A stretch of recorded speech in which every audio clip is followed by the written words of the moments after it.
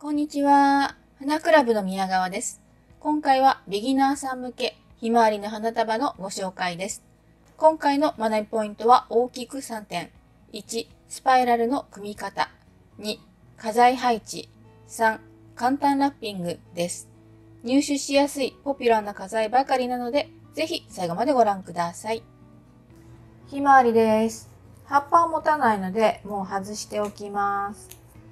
全部取っちゃうと風情がなくなっちゃうのでちょっとだけ残しておきますがもう全部取ってもらっても全然大丈夫です。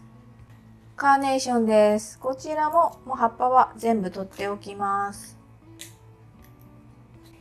ガーベラです。こちらもこのままですね。スプレーバラです。こちらの葉っぱも、まあ、横枝から下の方はもう外しておきます。バラです。こちらももう葉っぱいらないので取っておきます。ペリカムです。こちらも葉っぱ外しておきます。ソケイです。こちらは長いところを横枝で外しておきます。だいたいまあ25センチぐらいあれば足りるかなという感じです。下の方の葉を握れるように外しておきます。これちょっと長すぎますね。上の方破れているので、ちょっと悩ましいですが、こんな感じで外しておきます。ではこれで組んでいきます。まずバラです。若干長短をつけて、ほぼまっすぐ持ちます。そしたらひまわりですね。少し斜めにして左上から右下に傾くように配置します。ちょっと回します。えっ、ー、と、自分のボディに対してまっすぐ当てるか、少し斜め気味に当てる方が当てやすいので、えー、そういうポジションに花束を持ってきますね。まっすぐ当てるか、ちょっと斜めにした方がやりやすいかなと思います。ま、正面から見るとこんな感じで、で、ここにお花が来るイメージです。で、えー、斜め左上から右下に茎が流れるようにあてがいます。お花はこんな感じでくっついてます。で、持ってくるっと回しますね。で、そうすると今度このひまわり、今入れたひまわりのお隣に入れる体勢が整うわけですね。こういう状態。ここにひまわりのお隣に次入れたいと思います。カーネーションです。お隣に左上から右下に入ってきます。またお隣ですね。左上から右下に斜めに入ります。手をくっつけてくるっと回します。このバラの周りをくるっと取り囲んでいってるわけですね。今こんな感じです。次にガーベラです。ガーベラもちょっとこう曲がっているので、顔をバラに当てて少し起こし気味にしながら左上から右下に。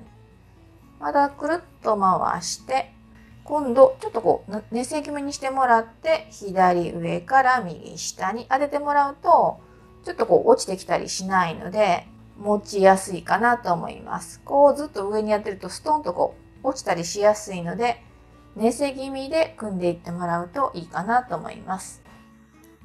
で、入れるときにはちょっと上からこう様子を見ながら、この位置ねって思ってもらってから当ててもらうといいですね。そしたらまたこのガーベラのお隣に入れるので、手をくっつけてくるっと回します。この空いてるところですね。ここにスプレーバラを入れてきます。親指起こして、お花入れたら、親指閉じて持ちます。こんな感じ。そしたらしっかりここを握っておいて、もし上から見た時に位置が少しずらしたかったら、ちょっとこう、ちゃんとここ持っといて少し動かしていく感じにします。で、この今入れたミニバラをちょっと中の方に食い込ませていきます。中心あたりのところに薄いピンクを持っていきますね。ブラウンのバラなども綺麗に見えてきます。そしたら、えっ、ー、と、ソケイですね。まずはひまわりの間あたり。1個入れたらバランス見ながら全体に入れていきます。手をくっつけてくるっと回して入れやすいところですね。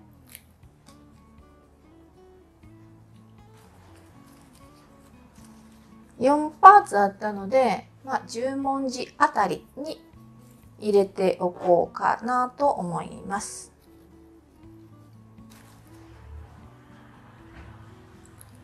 そしたらヒペリカムですね。えー、まずはこのひまわりの下あたり。で1個入れたので、えっ、ー、と、ヒペリカムは3パーツあるので、三角形の位置あたりに来るように配置していきます。あとはこの全体のバランス見ながらですね。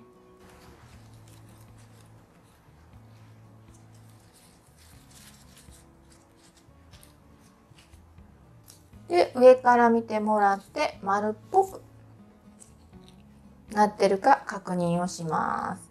へこんでる場合は必ず茎を持って少しこう揺らしながら引っ張り出してきます。必ず茎を持って引っ張り出しますね。花持つと花が折れたり傷んだりするのでお花ではなく茎を持って引っ張り出していきます。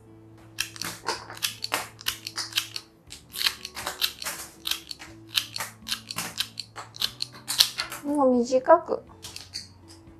一握りとちょっとぐらいでカットしました。テープで留めていきます。親指ちょっと起こしてピタッとテープ留めますね。そしたら親指で押さえておいてテープをぐるっと引っ張りながら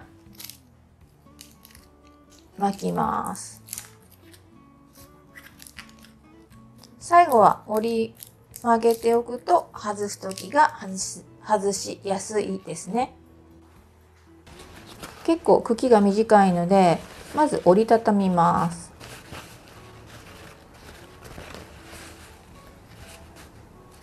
で折りたたんでおいてこの茎を包みます。極力この横よりもこの切り口により多く当たってる方がいいわけですね。だからそこにこうちゃんとついてないとお水がもらえないっていうことになります。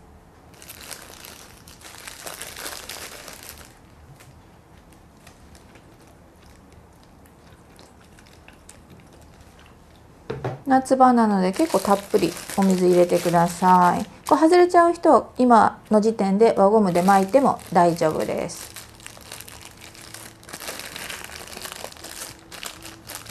で袋はぐっと引っ張って片側に寄せておいてから横に倒して巻きつけていきます。緩まないようにしておきますね。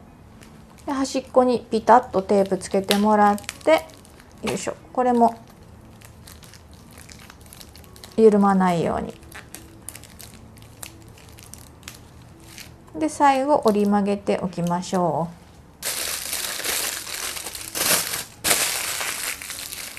あとアルミで隠します。上はキュッと。下は軽くトントンですね。フィットさせておきます。あまりグッとやるとお水絞っちゃうので下はギュッとしないようにしておきます。上ギュッとするのはこうお水が漏れないようにするためですね。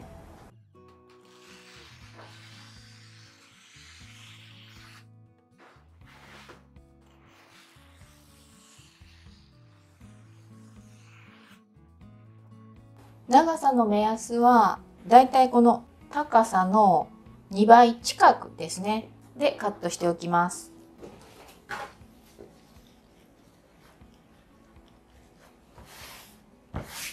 で三角形をどんどん小さくしていきます。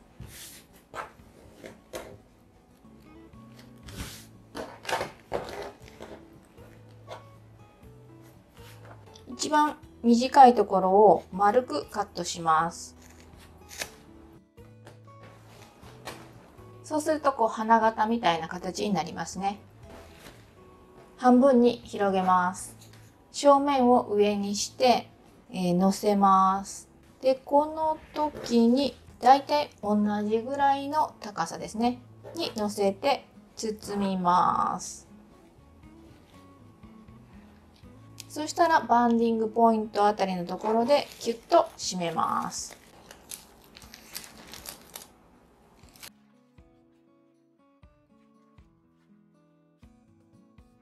こんな感じで完成です。ブラウンのバラを中心にぐるっと取り囲んでいくシンプルな組み方ですので、機会があればぜひお試しください。今回も最後までご覧いただきましてありがとうございました。また次の動画でお会いしましょう。またね